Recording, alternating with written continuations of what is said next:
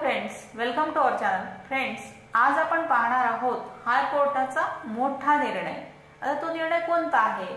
तर वाटणी झाली नसेल तर कुटुंबाची संपत्ती विकता येणार नाही. हा मोठा निर्णय आपण पाहणार आहोत. फ्रेंड्स व्हिडिओ पूर्ण बघा. लाईक कमेंट शेअर करा आणि सबस्क्राईब करायला अजिबात विसरू नका. तर चला पाहूया आपण काय निर्णय आहे.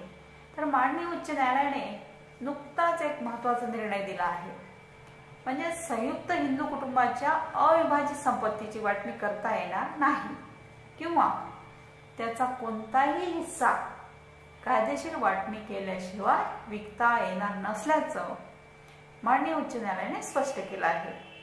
आता उच्च न्यायालयाने दिलेला हा निर्णय उदाहरणाच्या दृष्टिकोनातून अत्यंत महत्त्वाचा ठरणार असल्याचं दिसत आहे. आता दोन्ही पक्षांची बाजू समजून घेतल्यानंतर उच्च न्यायालयाने हा महत्त्वपूर्ण निर्णय घेतला आहे. आता मान्य न्यायमूर्ती यांच्या एकल खंडपीठाने हा आदेश पारित केला आहे. यामध्ये माननीय सुप्रीम कोर्टाद्वारे दोन हजार वीसच्या विनिता शर्माच्या केसमध्ये दिलेल्या निर्णयाचा उल्लेख करत उच्च न्यायालयाने असं सांगितले की संपत्तीची वाटणी झाल्याशिवाय संपत्तीचा मालक आपल्या हिस्स्याची संपत्ती सुद्धा विकू शकत नाही. म्हणजेच कायदेशीर वाटणी झाल्याशिवाय कोणताही मालक आपल्या हिस्स्याची सुद्धा संपत्ती किंवा शेती विकू शकत नाही.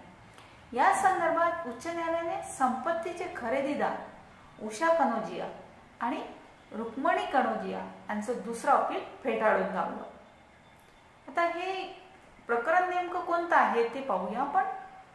चिंदवाड्याच्या रहिवाशी असलेल्या सरूबाई यांनी याआधी एकनाथ यांच्यासोबत सात अपीलकर्त्यांच्या वतीने दिवाणी न्यायालयात झिरो पॉईंट पंच्याऐंशी हेक्टर जमिनीचा दावा सादर केला होता. आता त्यांच्या वकिलांनी अपीलकर्त्याच्या वतीने बाजू मांडली. पांडुरूने ही जमीन उषा रुक्मिणी आणि भारती यांना विकल्याचा युक्तिवाद केला. आणि वाटणीही झाली नसतानाही पांडुरू यांनी त्यांच्या हिश्श्यापेक्षा जास्त जमीन विकल्याचा आरोप करण्यात आला. आता दिवाणी न्यायालयाने रजिस्ट्री रद्द करून याचिकाकर्त्याच्या नावाने जमिनीचे सात भाग केले होते. यानंतर उषा आणि रुक्मिणी यांनी दिवाणी न्यायालयाच्या निर्णयाला उच्च न्यायालयात प्रथम अपील सादर करून आव्हान दिलं.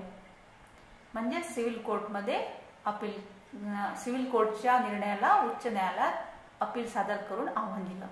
आता उच्च न्यायालयाने पहिलं अपील फेटाळून लावल्यानंतर दोघांनी पुन्हा दुसरं अपील केलं. आता मान्य उच्च न्यायालयाने दिवाणी न्यायालयाचा निर्णय आणि पहिलं अपील कायम ठेवत दुसरं अपीलही फेटाळून लावलं. तर हा होता महत्त्वपूर्ण निर्णय. थँक्यू